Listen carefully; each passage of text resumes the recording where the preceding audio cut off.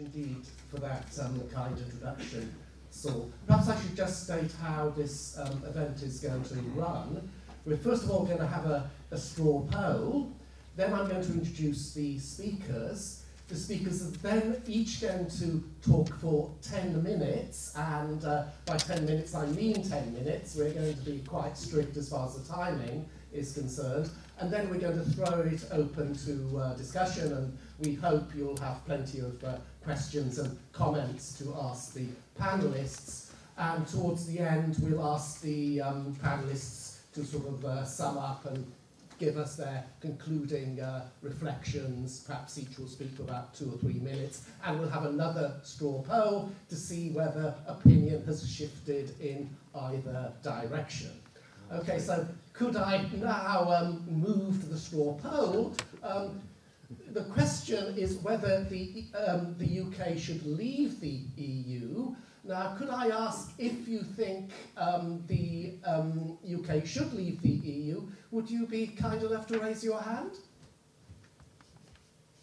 So, would you like to count?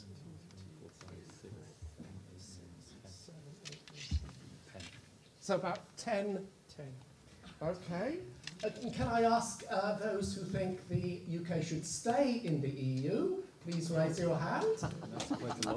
So how many are? Million. Well, I already know who's going to win the debate. oh, oh, but will, will we? Uh, in terms of the No, but I mean in terms of shift. shift. Yes, yes. Uh, 50, 53, 55, 57, 58, 60. Is a, I would say 65. And someone else, yeah, 65. How many And how many, sorry. And how many are undecided? Okay, excellent. 1, 2, 3, 4, 5, 6, 7, 8, 9, 10, 11, 12, 13, 14, I think it.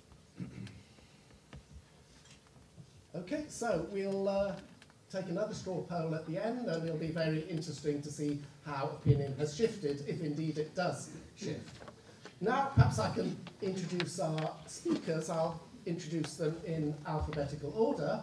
First of all, um, Rebecca Driver, um, who runs the um, research consultancy Analytically Driven uh, Limited.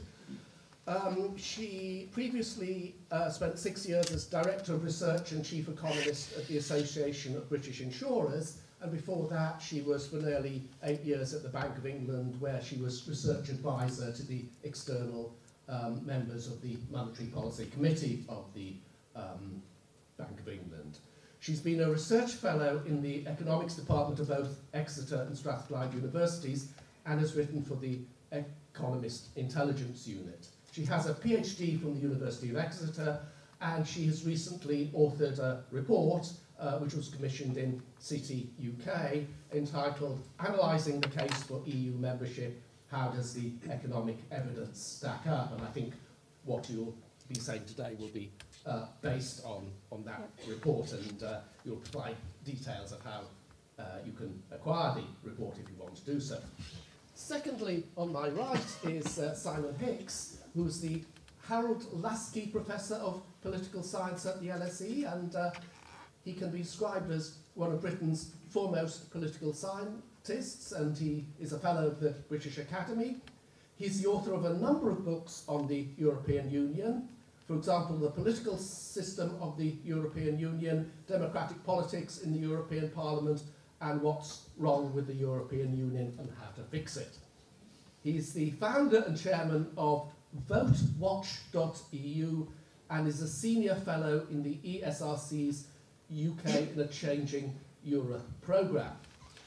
Okay, now on my far left, and that's a statement as far as um, location is concerned, not, uh, as, uh, not a statement about his political beliefs, as I think should become evident uh, in due course, is uh, Patrick Minford, who uh, is currently Professor of Applied Economics at the Cardiff Business School, and he was Edward Gonner Professor of Applied Economics at the University of Liverpool from 1976 to 1997. He has a PhD from the LSE and has worked for the Ministry of Overseas Development. A distinguished macroeconomist, he has published countless books and articles, including a co-authored book, Should Britain Leave the EU? An Economic Analysis of a Troubled Relationship, which appeared in 2005. He tells me that a second edition is about to hit the press, and um, I think in a month or two, two's time, you'll be able to buy that book, and I'm sure you'll all want to do that. I think Patrick um, achieved particular prominence in the early 1980s, where he was, I think, one of the few economists who um, supported Margaret Thatcher's economic policies. And there is a story that um, Michael Foot asked Margaret Thatcher in Prime Minister's question time to name two economists who supported her economic policies. And she said Patrick Minford and Alan Walters. Apparently, uh, when she was being driven back to um, 10 Downing Street, she said, Thank God he didn't ask me to name three. anyway, and um, last but not least, of course, uh, we have um, Graham Stringer, who was uh, first elected to the House of Commons in 1997. Um, your Labour MP for Blackley and Broughton.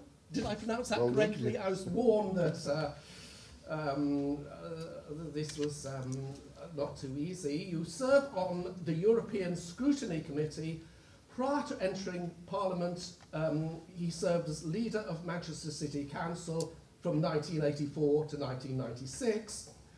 I think you're one of the few MPs who have a scientific background and you have a degree in chemistry from Sheffield University. So um, that's our panel. We are uh, delighted to have you all here and delighted that you're able to contribute to this uh, discussion. So, um, and we're very much looking forward to your, um, to your contributions.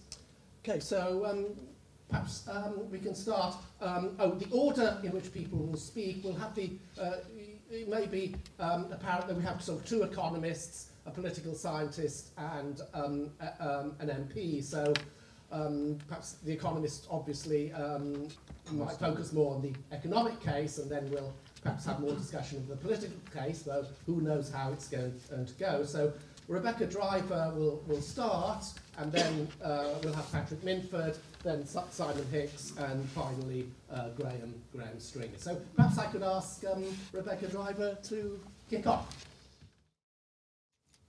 Good evening. I was asked earlier what do analytically driven do? We're a research consultancy that specialise in answering policy questions. I got into the EU question because the City UK asked me to take a look at how do economies work and what does that mean for the UK's relationship with the EU? Are we better off out or in? And kind of one 100 page report later, I think basically the case for EU membership can be boiled down to five fairly empirically strong facts. Fact number one is that there are big, big differences between the productivity enjoyed by high productivity firms and low productivity firms in all industries and all countries around the world.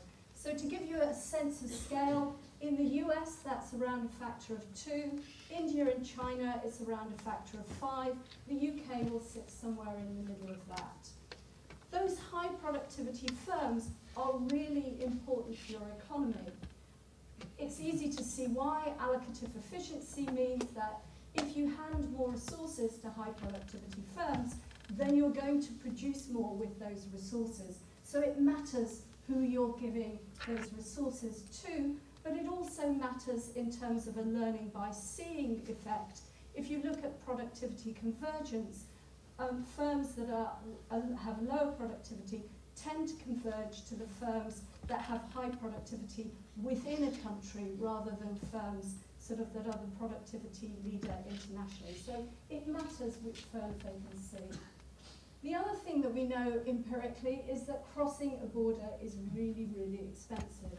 And we can see that looking at the example of the US and Canada, for example.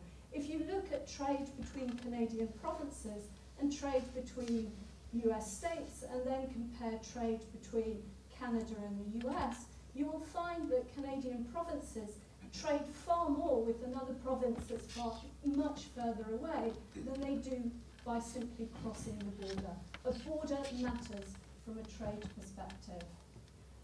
The other fact that we observe is that only high productivity firms can afford to trade, and certainly when you look empirically at who are the most productive and the most innovative firms in any economy, they tend to be those who are involved in international activity, be that either as exporters or through foreign direct investment.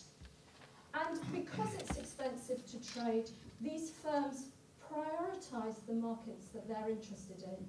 They like large, geographically close markets with strong institutions and developed financial markets. Empirically, that's the sort of market that firms prefer to trade in, and from a UK perspective, that means the EU.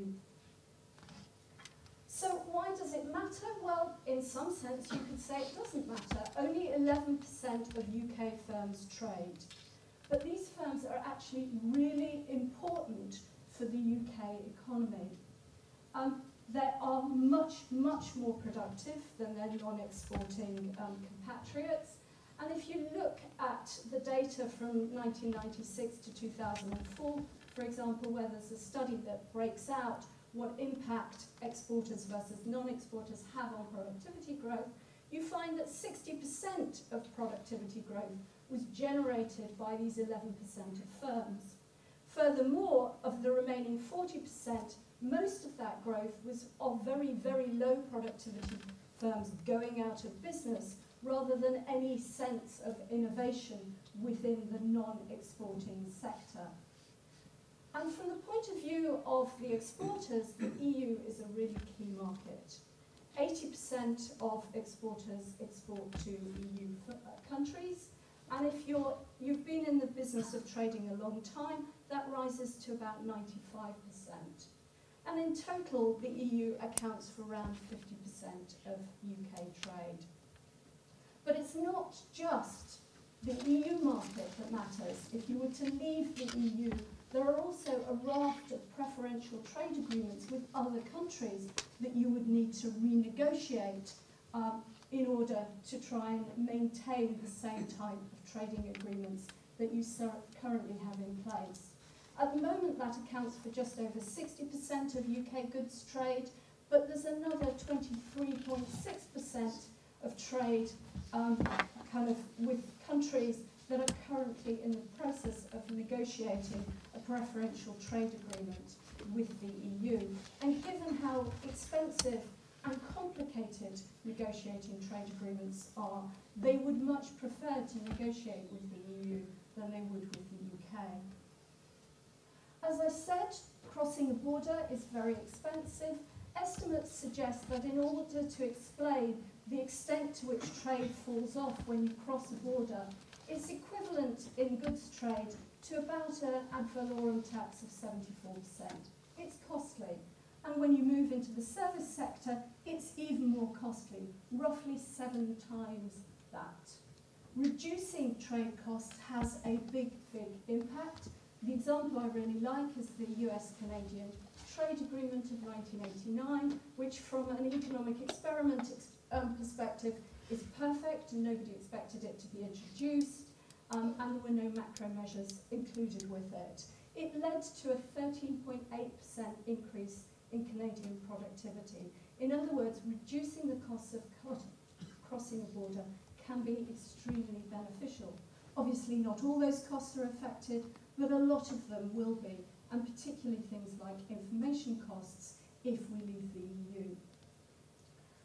Furthermore, it's not just that 11% of firms that matter, there are also the sort of issue of global supply chains, which are increase, increasingly complicated. Um, in the UK, only about 50% of value added for exports is generated in the sector of the exporter itself. You look at large Spanish firms, for example, that are doing exporting, only 1.5% of them um, generate all their inputs in-house in Spain. Supply chains are very complicated and hugely important. So in terms of the work that I did for the City UK, I looked at five different options um, for what out would look like. There's a sort of customs union, single market type option, probably not very credible, um, but might be a sort of EU light um, type option if you were to think about it.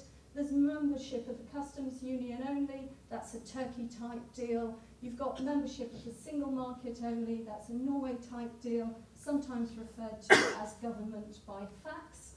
And then you've got the free trade agreement option, which is a Swiss option, um, tends to be very static deals. The Swiss, I think, have a huge number of deals with the EU. Interestingly, only one covers financial services, so a key sector of the UK could well be left out. Then, of course, you've got um, competing um, under World, Trade Organization rules under most favoured nation.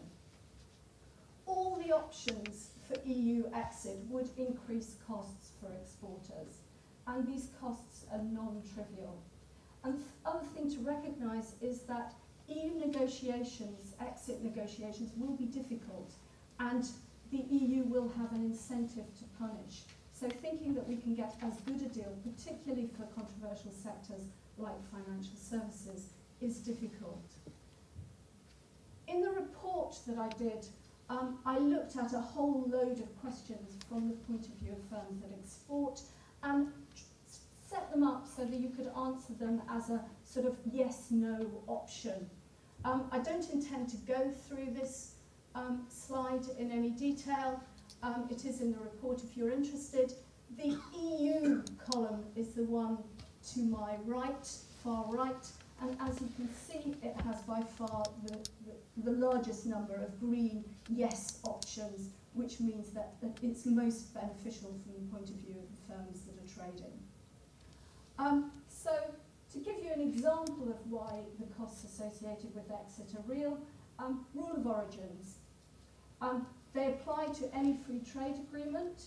Um, a typical EU NAFTA free trade agreement will have a 200 page plus rule of origin um, type regulation. There are four different ways of calculating it. Some lucky goods get to have to comply with all four methods of calculations and the costs are non-trivial.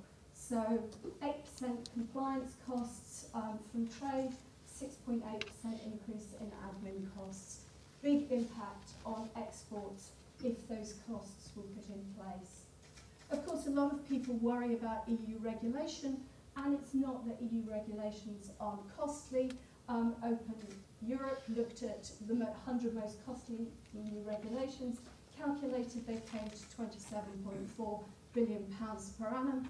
What they didn't really highlight was those same 100 regulations were calculated to have a benefit of 57.1 billion pounds per annum. In other words, the scope for cutting regulation when we leave it is probably quite limited, and certainly having sat in the ABI boardroom where you've got FTSE 100 CEOs sitting around the table, they're much more likely to fret about the UK gold plating EU regulation than they are to fret about the EU gold plating UK regulation.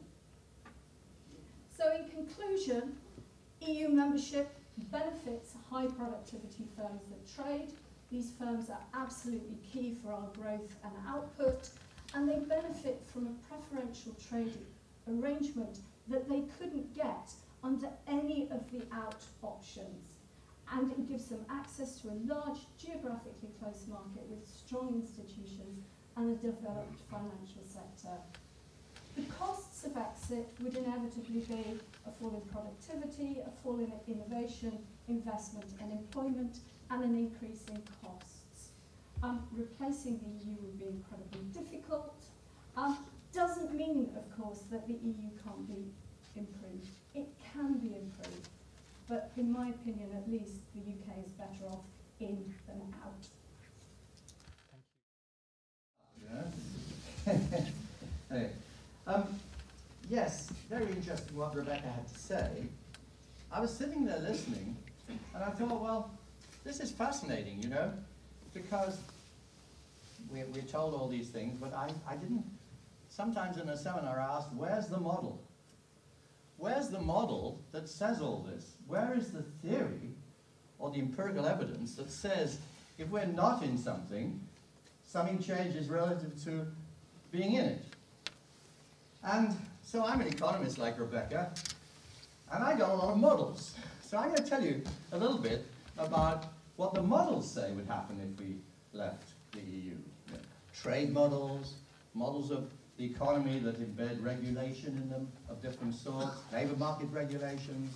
Um, what happens if we have to join the euro? Because as you know, under the present setup of the EU, as, we, as the EU moves towards ever closer union, joining the euro is an compulsory part of the, of the deal, which brings with it bailout costs.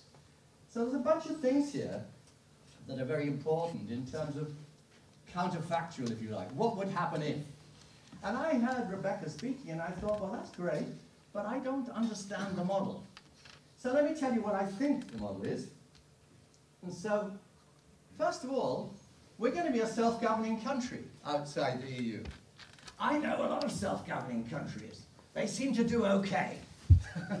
That's the first point I make to you guys. What is it that says the UK is somehow unique in being unable to govern itself outside, um, you know, a bunch of neighbors? I asked the Japanese, I got a Japanese daughter-in-law, and I might say to her, why don't you think you should join in with, you know, Indonesia and China and be governed by, partly by them? Or I could ask the US, you know, why don't you join in a federation of surrounding states where you've got a bit joined, bit governed by Canada, a bit governed by the Russians, and a few, you know, and a few Mexicans on your governing council. I don't think they'd be too pleased. So, first point, it's, it seems to me one should assume that it's possible to be a self-governing nation like these other guys. So let's, let's kind of think, well, what, what have we got in the background here? Of course, the first thing to note is that when we joined the EU, it was something very different. When we had the referendum that I took part in in 1975, we joined something called the Common Market. And it was a very different thing. What is it now? It's a huge, it's a huge organization that has a single market, which is free movement, as we know, single currency, probably our opt-out is temporary. It has ever closer union as, a, as an aim. It wants to be a state.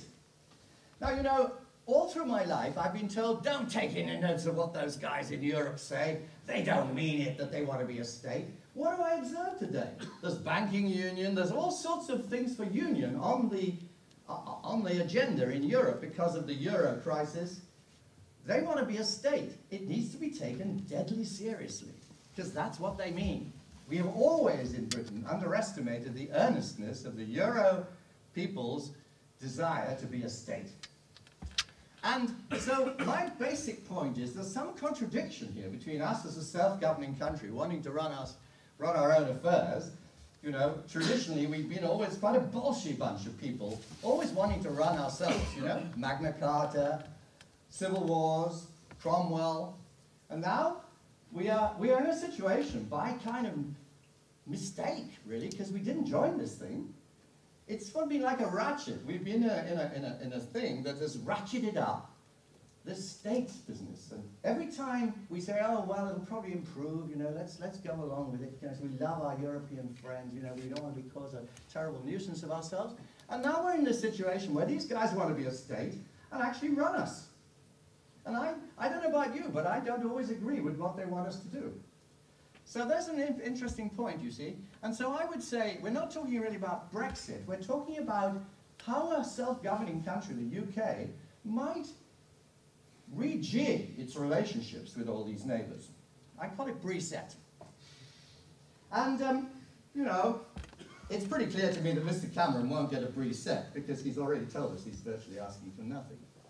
Now, I did quite a lot of modelling on this, and I came up with various costs.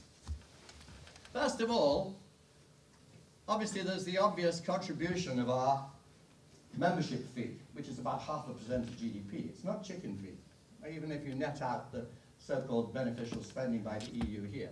Then you go into trade. Now, you know, I'm kind of old-fashioned trade applied person. I've got models of trade, and in these models, competition rules in the long run, this is a big structural change leaving a customs union. My mentor at LSE, Professor Harry Johnson, argued strongly in the 1975 referendum against joining a customs union because he said, you're better off under free trade. Now the thing is, all the things that Rebecca said about trade don't take account of the fact that the EU is a customs union, very protectionist. The average rate of protection in the EU of agriculture is about 18%. The equivalent of tariff equivalent of all their non-tariff barriers and their tariffs on manufacturing is about the same. Now I've done the assumptions that over time this will come down to about 10%, and I get that leaving a highly protectionist area for world trade and world prices gives us a big gain. And a way to think about that is, as was mentioned in a newspaper earlier this week, on day one, the cost of living in the UK on leaving the EU will fall by 8%. And that is a huge change. And of course it's offset by the fact that the benefit to consumers is offset to the fact that a lot of, a lot of industries, as Rebecca said, are very much benefited by the EU because of course they're protected. And you know, turkeys don't vote for Christmas. So there's going to be a lot of turkeys out there, corporate turkeys, not voting to leave the EU because that will be Christmas for them. They will lose a lot of protection.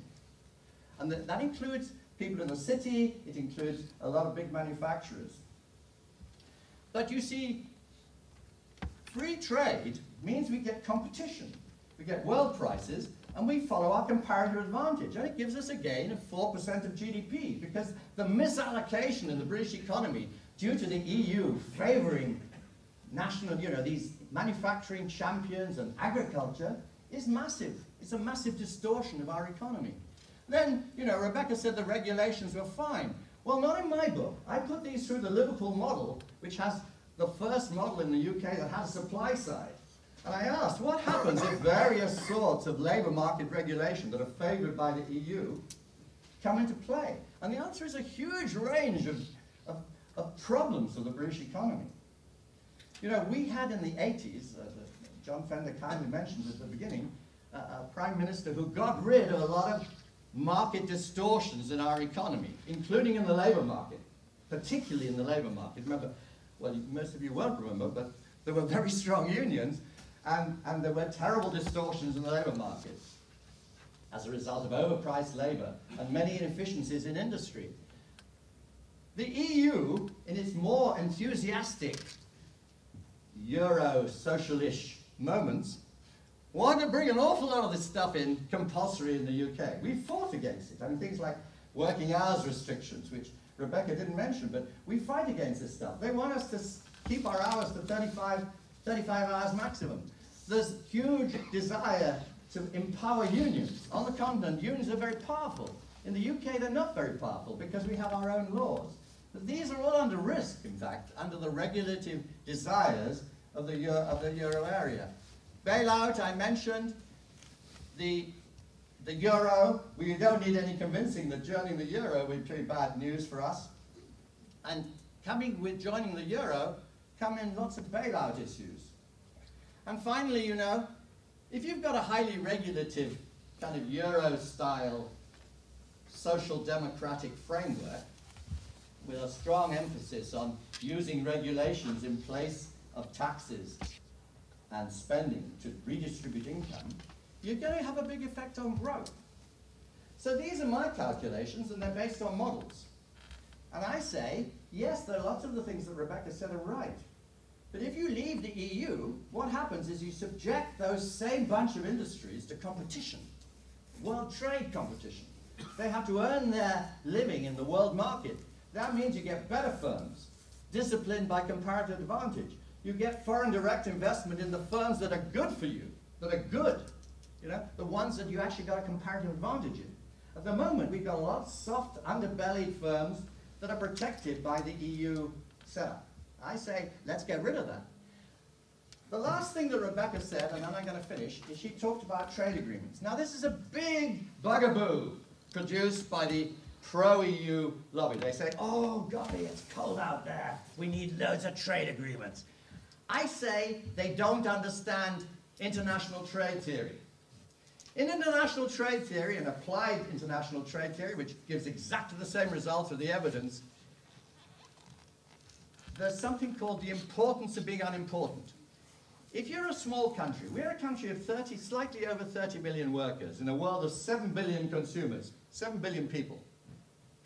We are small. We have to compete in these markets. We have no monopoly power. We are unimportant. We'll be another unimportant economy in world trade. Now, one of the things that we learn in this is that free trade agreements are totally irrelevant to the behavior of a small country with no monopoly power. They're relevant to a big country with lots of monopoly power. Yes, the US and the EU can muscle up to each other and try to use, you know, an agreement to discipline the monopoly power that they each have from their big size. We leave the EU, we'll be a small country under world prices, which gives us a gain, and we will be, it won't matter whether we have any free trade agreements, to be quite honest. You ask Singapore, does it need trade agreements? You ask Hong Kong, does it need trade agreements? You ask Japan, how many trade agreements does that have? Not that many. Because you don't need them if you're small. You just got to produce good products.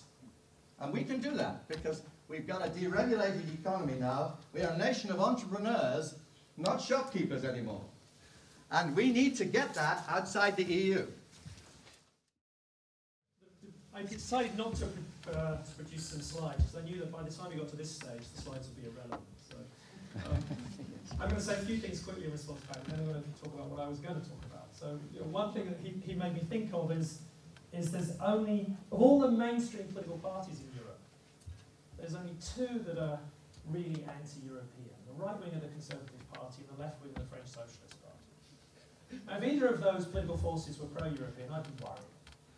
So as a kind of moderate, centrist person, like most people in this room and most people in the continent, I mean, it's interesting how the, the, the right wing of the Conservative Party see Europe as some fantasy socialist plot to undermine the plucky liberal Brits, and the, the, the left wing of the French Socialist Party see Europe as some nasty Anglo-Saxon free market plot to undermine the French state. Well, of course, the truth is halfway between those two things. The, Europe is actually a pretty moderate, modest social market economy that's far more liberal than the French economy, and yes, a little bit more regulatory than the British economy would be if we were out, but actually probably close to the, the political preferences of most European voters, and, and, hence why it's only the extremes of those two parties, um, the most left-wing mainstream party on the centre-left, and the most right-wing mainstream party on the centre-right. So by background, that's where I start from. So talking about the politics, so the, the big challenge on the table is the challenge put by Lawson. Uh, uh, he wrote an article about six months ago in the Telegraph, and he said um, the real choice for Britain is whether to be isolated inside the EU or to be isolated outside the EU.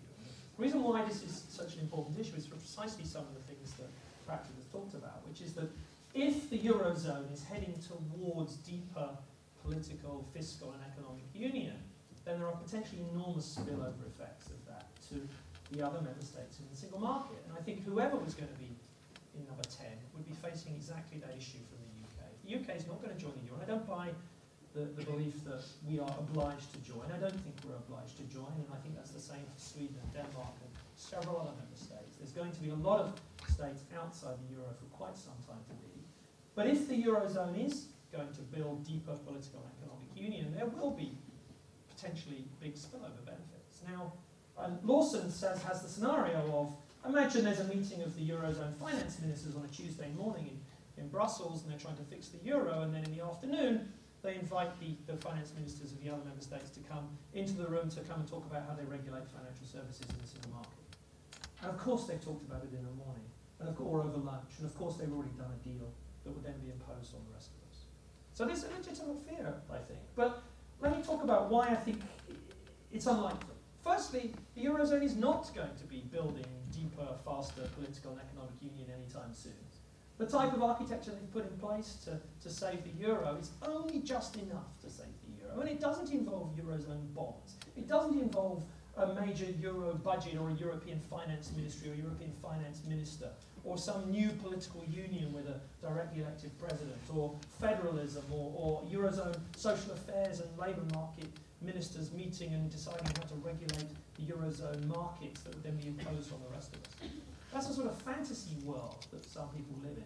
Germany's totally opposed to that. In fact, all the Eurozone member states are opposed to it, apart from a few very small interests and groups in, on the left of the, of the German Social Democrats or the left of the French Socialists. It's just not going to happen. There's no desire for it.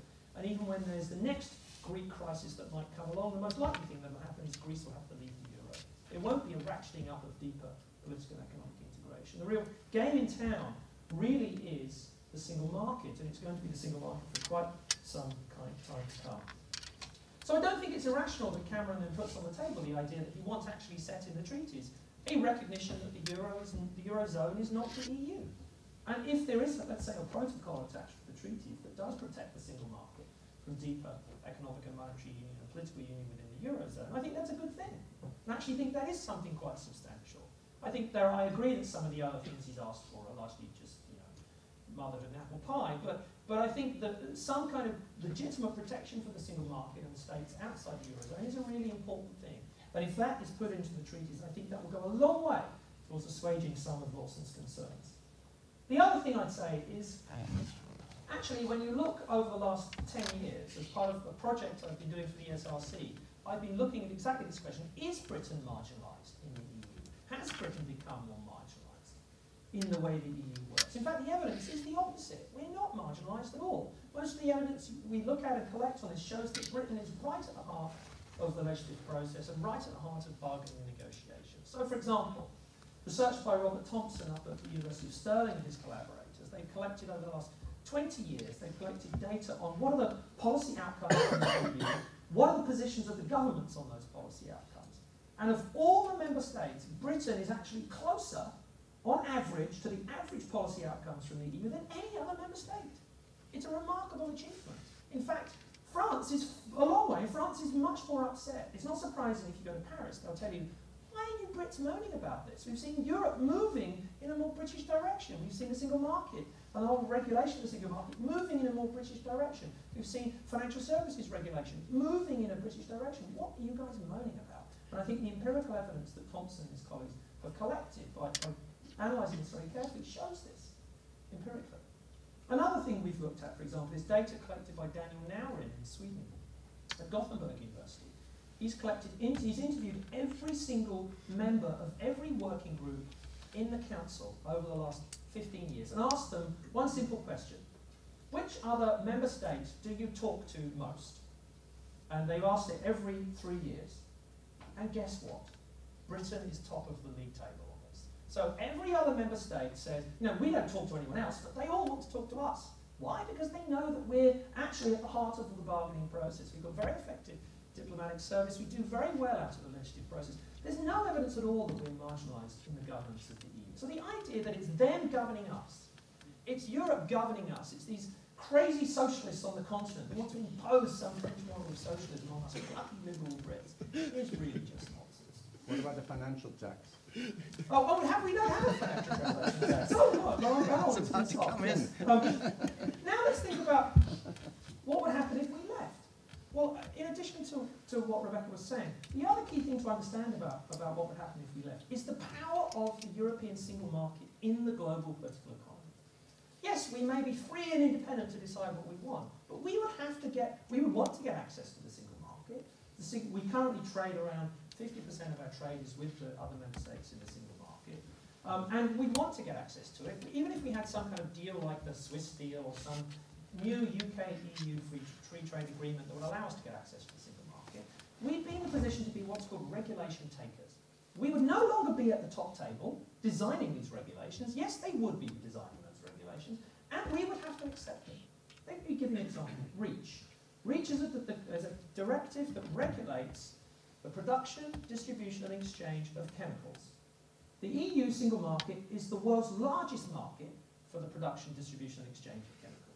Every firm that sells anything in the European single market has to apply the REACH directive. This is having an enormous impact on American firms. American firms are now lobbying the American government for the US government to adopt the same standards. Because all the American firms that export globally have to apply these REACH standards in their production processes. while all the firms who apply domestically in the US don't have to apply these standards. So they say this isn't fair. We're global firms. We have to apply these higher European standards in our production processes than the guys who just produce for the domestic market. And so they're going to be passing through Congress an equivalent of the REACH directive domestically so that there's level playing field inside the US. This is replicated across the world in a lot of regulatory standards. You really think that us being outside the EU will be free then to design our own rules for the single market? Another one going through right now, one of my favourite ones for teaching students, is, is the regulation of cabs on lorries. So there's pressure to redesign cabs on lorries because people on bikes get killed by lorries turning and not seeing on bikes. So there's growing pressure from the bicycle lobby to redesign the, the cabs on lorries so that the, the window goes down further so the guy driving the truck can see the bicycle as they turn. And Boris actually went off to Brussels to lobby in favour of this, the Boris being Boris's bikes, right? So um, you think that if the EU passes this, this then doesn't immediately become the global standard. Every truck manufacturer in the world will have to apply this global standard, including all the car manufacturers and truck manufacturers in the UK. So this is the power, the global power of the EU single market, which would not change much if we were outside the EU. We would end up being regulation takers without a seat at that top table, being at the heart of the bargaining uh, negotiations. How much longer? do we have? About a minute. About a minute. Uh, finally, one thing I do agree with Patrick. The EU is a political project. Of course it's a political project. The single market is political. There's something qualitatively different between a single market and a free trade area. And it's, it's I, I, I have a luxury of being invited to go to other parts of the world to try and explain to them how to get a single market. ASEAN would love to have a single market. Latin America would love to have a single market. The Mexicans and the Canadians would love to turn NAFTA into a single market. The reason they can't is because they can't design the political institutions and have the political will to create it. A free trade means you trade in a subset of goods and services. A single market means that you actually get rid of your barriers for free movement of goods, services, capital and labour. That is a political decision and it requires political institutions and political commitment and common shared political values to be able to do that. So you can come up with common environment standards, common social standards, common ways, common rules on the treatment of people in the workplace. So you can create a common level playing field. You need a set of political institutions to do that. You need checks and balances. The EU is a political project. Creating a single market is a political project. We shouldn't be ashamed of that.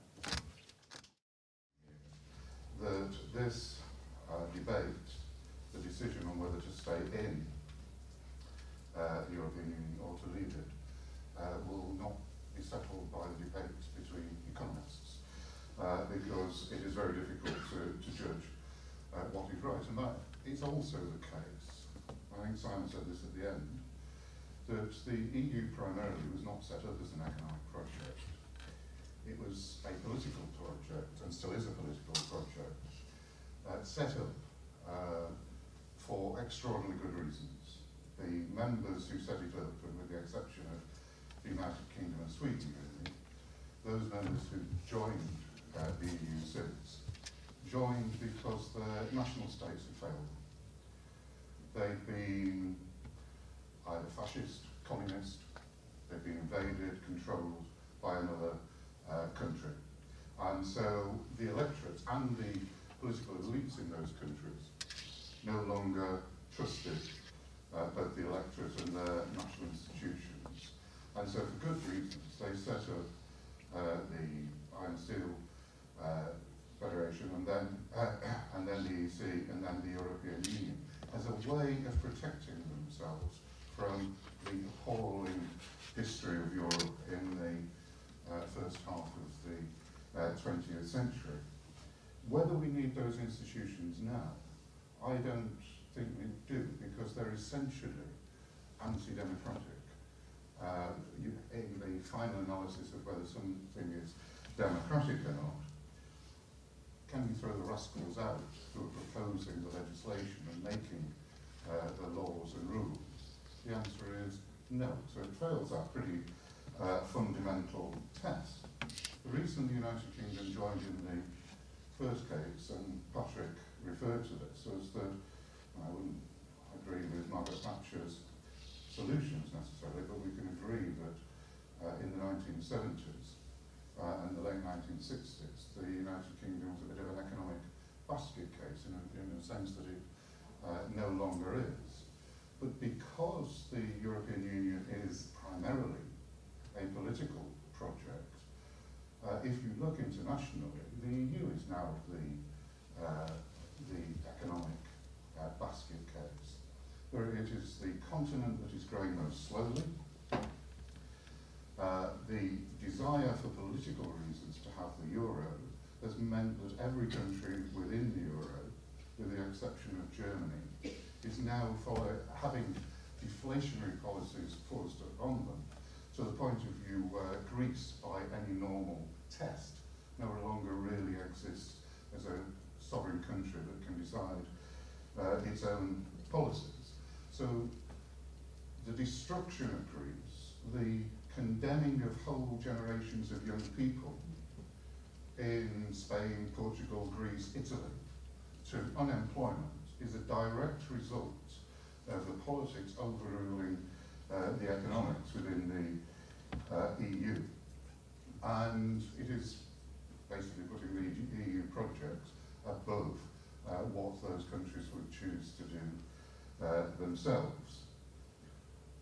I think we, we've heard from the economists about there are real benefits of being outside, there are real benefits of being inside. There's an Open Europe study uh, which, a recent Open Europe study, which said that depending on what you do, there are 2.8% uh, loss of GDP for leaving, or on the other hand, there might be a 1.8% GDP gain for joining. Actually, the record of economists, politicians, generally people who predict things, is rather poor. Nobody predicted uh, the Arab Spring, nobody predicted uh, the fall of the Berlin Wall and the collapse of Eastern Europe. We're just not very good at doing uh, that kind of thing. We are very good at understanding how we can improve our own situation. there are two final points I, well, two major points I want to talk about. Simon talked about influence. And it is often said, in the case that Simon made, that we have more influence within the EU than we have without it. I think there are, uh, numerically, just because the EU has got bigger, in round terms, our percentage vote, these aren't exact figures, but it essentially has gone from 20% to 10%, it's 8% or so in some bodies and 12.5% uh, in, in other bodies. When this has been tested 55 times since 1996 in the council meetings, the United Kingdom has lost every single uh, vote. The difficulty with testing these things objectively is often compromises are made beforehand. So it is extremely difficult to measure influence. But when actual votes have been taken, you can see that uh, we have uh, lost. It is also said, and I don't accept Simon's view, that the world will follow the regulations of the European Union most regulations, the World Trade Organizations, the people that regulate uh, agricultural rules applying to sheep and all banking, finance, are increasingly made at the world level, not at the European level, where this country is represented by the EU, often uh, by countries whose natural interests are very different uh, from this country's. And as a free, self-governing company, uh, country, we could represent ourselves in those circumstances. That is a great deal more influence being sat at the table where regulations are really made, rather than having them done second hand when we're only 10% of the vote. The final point, and it's the largest point, and I think it's, it's the most important debate, is it's about democracy. Can, can we change the European Union? It's quite clear that David Cameron doesn't think we can change the European Union into something better.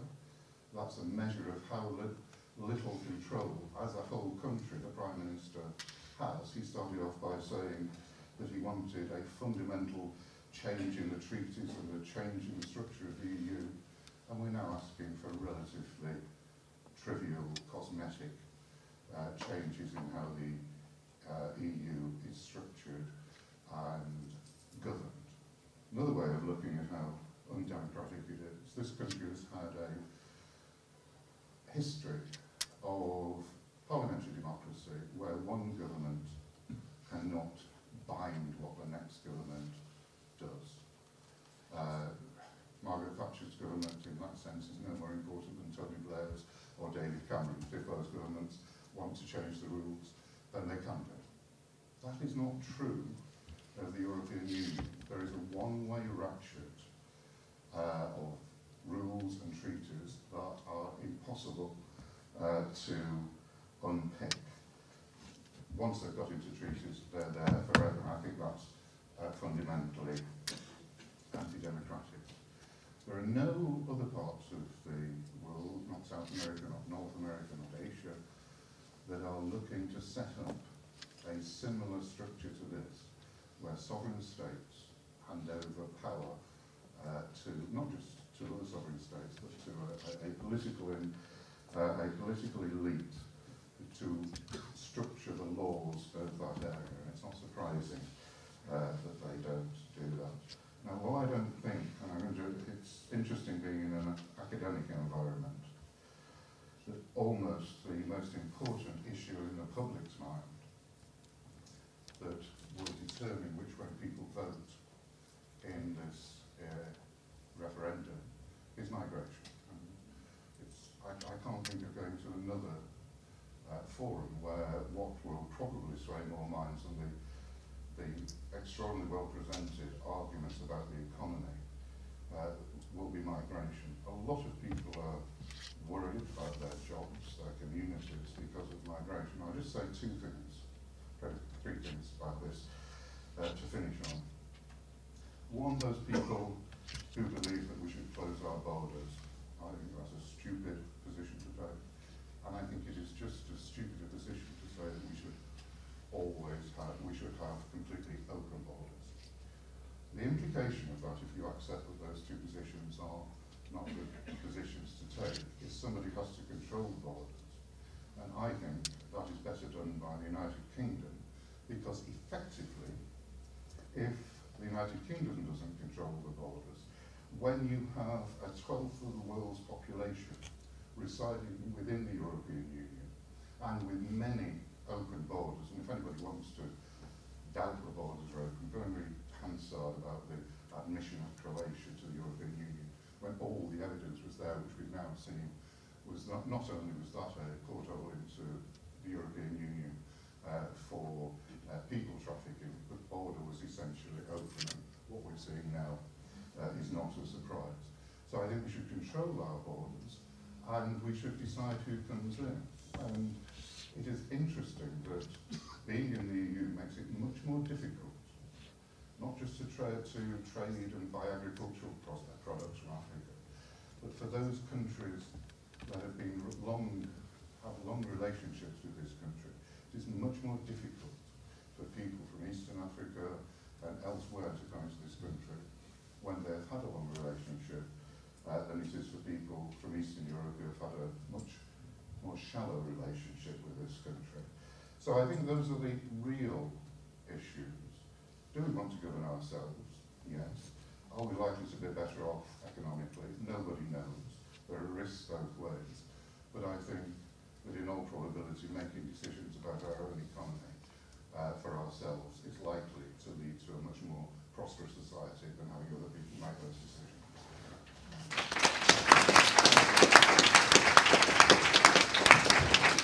Okay, thank you very much to um, the four speakers. Um, this is an important uh, um, question in front of ordinary voters. Uh, your opinion matters just as much as the opinion of experts. We collected, John and I collected this panel of uh, expert opinions so that you can ask some questions